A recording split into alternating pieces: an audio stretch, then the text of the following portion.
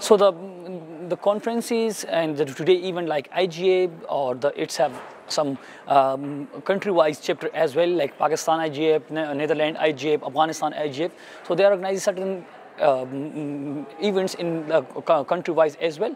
So the con uh, the conferences, even we can uh, bring the, the, the people together through internet as well. If I'm working for a, a certain cause and you are also mm, working for that cause, so you can contribute online uh, things. So the conferences, um, seminars, the workshops, and the events like IGF can bring the people together.